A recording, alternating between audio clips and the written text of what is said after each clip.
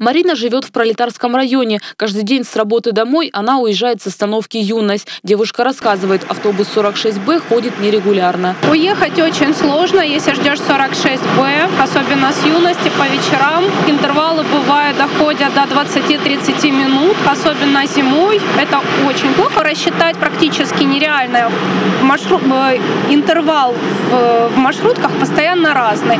Но скажу сразу, часто на такси приходилось тратиться, это правда.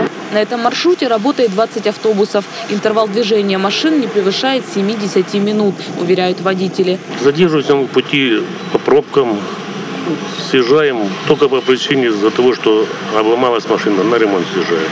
Стараемся не нарушать. Ну, бывает, что 2-3 минуты задержимся, потом догоняем. Диспетчер э, проверяет отметку медика-механика, проверяет э, удостоверение водительское, наличие путевой документации, которая необходима для работы на маршруте, и принимает на работу. Контролируется выход транспорта первого и последнего отправления, а также на контроле. Как рассказала директор Донгорпостранца, количество транспорта сокращали только на время новогодних праздников.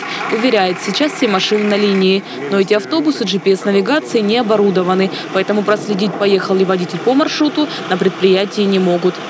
Если даже случаются, вдруг такие случаи могут быть, у нас есть телефон, который работает круглосуточно, 304 10 30.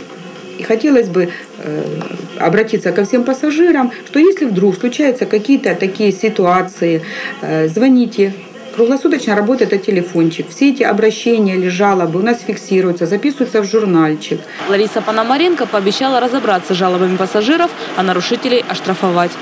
Инга Лапикова, Артем Молчанов, Панорама.